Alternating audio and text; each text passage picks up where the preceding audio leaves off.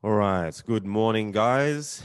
Welcome to my Monday morning rant for Monday, the 28th of December.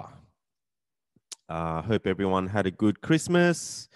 Um, we had a small gathering because in Sydney we had restrictions of 10 people, no more. And uh, that meant some of my family members couldn't come. But we had um, a big Indo feast at my sister's place. And I got pretty heavily into the Christmas spirits, being vodka and gin. And I drink my vodka straight. Uh, I didn't even drink it with ice. And I got pretty fucking trashed to a point where when I came home, I smoked a cigarette and I vomited. And mission accomplished. Um, I haven't had a good vomit in a really long time. So that felt um I felt alive. That was good. Um and I got toys for Christmas, which is really funny, right? Like, mom bought me Thunderbird 2, which is super cool because she knows I used to get up at six in the morning to watch Thunderbirds every morning before school. And uh, Thunderbird 2 was my favorite because it's got Thunderbird 4 inside it and visually my favorite too. And uh, we just had a good laugh about that. 45 years old, and I'm still getting toys for Christmas a big kid for life, and I love it. it's embarrassing, but I love it. And um, in other news, um, the Zen Garage website is down, and uh, multiple factors. Um, my bank sent me a, sent me a new credit card maybe a month ago or something like that, and uh, I just decided to not pay shit off and just save money. And you know, when you have a credit card, you subscribe to all these services, and then eventually, well, I, in my case, I wasn't using stuff, so I just st- started finding money in my account, and uh, whatever services they were, I stopped paying them because uh, the direct debit it would have broken, and I suppose web hosting was one of them. so um, I went through the wringer with support and finally managed to convince them that I am who I am and I have a new credit card and I want to pay my bills. And um, all the websites went back up except for Zen Garage. So something's broken. Um, my web developer is MIA at the moment, which is fair enough. And uh, everything seems to be working except for the Zen Garage website. Um, but the fact is that I'm paying like 150 US a month uh, with this hosting plan because the forums take up a lot of space and traffic. And they used to, you know, the forums used to cost me a shit ton more money than that because uh, I'd break the threshold every month. But the honest fact is, is that I'm not making any money anymore off the forums. The advertising is not working because no one's visiting the forums anymore. And it's just a sign of the times, right? Like I have uh, really tried to keep my websites going all these years because they're my sites and I can post whatever I like on them. And it's not somebody else's platform where, you know, I get banned on Facebook for posting shit. I get banned on Instagram for posting shit. Get shadow banned on Twitter for posting shit. But you can post whatever you like on your website. So I've always thought the best thing to do is to have your own website so that if all the other shit goes down, you still have your own platform. But uh, these days, I don't think anyone visits websites anymore. I don't think people visit forums anymore. It's, I mean, I know people don't visit the forum anymore. Uh, they might visit it, but they don't log in. They don't. They might use it as uh, to search for information, but there's not much being um, put into the forums anymore these days. No one's no one's using them. I think people are just using social media now. Um, maybe you know they're using Reddit, um, they're using Facebook, Instagram, Twitter, and you know it makes me question whether websites are worth running anymore these days. So part of me wants to just let it go. Um, it was really hard to let the Australian Infront go, my design community. Like when we shut that website down, it really hurt. And I'm really proud of what we did all those years. But it's sad now that there's no website there anymore. Um, and I'm still sad about it. So I know that if the Zen Garage website goes, there's a whole lot of content on there. And it's still nice to post to it. But the honest truth is, only a handful of people check out the content that we do post on there. Like Sam Stan, Sam Law still contributes a fair bit. Uh, he goes out to car meets and stuff and shoots and car events and and uploads big blog posts. Um, and I post everything that I do with these podcasts and stuff on there every week.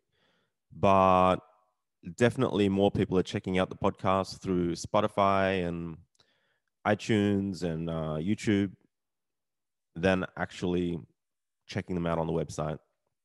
So part of me thinks I might let it go. Like the Zen shop is still up, but um, that's with Shopify. But um, yeah, I'm not sure. I'm I'm I'm not sure, but I'm I'm I'm uh, right now. I'm thinking maybe to shut down the JDMST forums, shut down the VW Golf forums, shut down the Zen Garage website, maybe redirect the URL to the shop, and um, maybe go without websites in 2021. Um, I think when I can talk to my developer about it, I'll have a meeting with him and have a, a solid discussion about it. Um, it would save me a whole lot of money per month. And I don't think too many people will miss it or if they miss it, well, it's more of a celebration of what was, um, and I'll just have to deal with it that way. Um, but yeah, I, I just think it's um interesting. Like from my perspective, I was around when websites first started and the dot com boom happened, and you know we were on um 14 4 dial-up modems back then, and uh I was designing websites for 640 by 480 resolution. And, you know, websites, website design back then was just so exciting, man. It was unlike any other medium. There were no rules, you know, there was no left hand navigation or top navigation. Um, we made we made such interesting websites back then. You know, you, you scroll left and everything scrolled right uh, you scroll down and everything scrolled up and um, navigation was not defined. It nothing there were no rules. So you you literally were playing with what a website could look like and could work like. And uh, there was macromedia flash and that made website design even more interesting. It was so entertaining. It was almost like websites were like mini movies. Um, and you can have a journey through a website. Uh, you can legit have an amazing experience where these days websites are mostly template driven, right? Like most people's websites look the same and we all know how to operate them because the navigation's at the top or on the left and um, you know fonts are a particular size and uh, they all they all basically look the same these days so the magic out of web design's gone, gone a long time ago. And you know, in my opinion, that's almost like the downfall of websites. It's like you could do something so creative and so fun with them, but no one does, or hardly anyone does. So, the death of print is something that I went through. David Carson, this amazing typographer, uh, released a book at some point that was called uh, "The End of Print," and it was awesome. Like he used to work for Raygun magazine, which is a pretty cool uh, music mag mag that I used to buy at the newsagent. And like there was one particular interview with a band that he didn't like, and he and he put the whole interview in uh, Wingdings, like a font that is not a font, just a whole lot of characters, and you know he would flip fonts upside down on purpose. Even the title on the magazine would be upside down on purpose, or um, not legible. And his book was awesome in that like it was a time where the web was so strong that print was dying. It was obvious that people weren't buying print so much. And, you know, I used to love going to the newsagent. Like, I look at the newsagent as like a reflection of the world. Like, whatever you're into in life, there's a magazine for it. So, you know, while I used to probably make a beeline for like tech and design and creative magazines, somebody else might make a beeline for horse magazines or um, fashion magazines or whatever it is you're into in life. It's in a newsagent. So I still love going to the newsagent every month and just picking out like five or 10 magazines to take home. And I stopped doing that a long time ago. And it's probably because of the web, right? Like I think a lot of people stopped buying magazines because of the internet. And uh, yeah, I think where it was the end of print, probably in the mid 2000s, early 2000s. Now in 2020, I feel like it's the end of the web. It's end of the it's end the end of websites. Websites are over. It's done. And a lot of these platforms that are owned by somebody else are what people seem to be contributing to. And it's kind of sad because that information that used to live on forums and stuff, it's searchable. Whereas someone asking a question, looking for answers on Facebook, they get those answers potentially, but those answers aren't searchable. You're not going to find them. You know, you're not you're helping people out in the moment and within a few days, it's so far down the page that no one's going to scroll down and find it. So,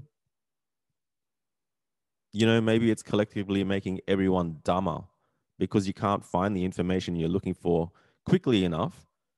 So instead, you just go and ask everyone anyway, rather than doing the research or using the search tools that you're given. Google's pretty fucking amazing, right? So rather than using the search bar to find your answers, you just ask instead. It's quicker, it's more immediate. Um, so, yeah, the death of the website could be the situation, and um, I might be jumping on that bandwagon and getting rid of all the websites that I own that are, you know, costing me this 150 US a month to run. And if no one's checking them out anyway, then maybe it's time to let them go. Um, and yeah, so happy New Year's to everyone. Um, I was talking to my cousin Jess at uh, Christmas about organizing a little party. I used to have huge New Year's Eve parties at my place, 50 plus people, so much tragedy and dramas, such good fun, lots of laughter, lots of tears. Uh, I would love to host a party again, but maybe this year is not the right year. I've only got a few days to organize one anyway, and I could only probably have 10 people, which is which would be pretty cool actually, just to talk shit all night with some interesting human beings, but I don't think it's going to happen. But um I am going to get together with Viv later today and we will probably do a New Year's Eve themed shoot just for her OnlyFans and her Patreon and my Patreon. Um, so that'll be fun, and that'll probably wrap up my year. I was meant to shoot uh, with a new model yesterday.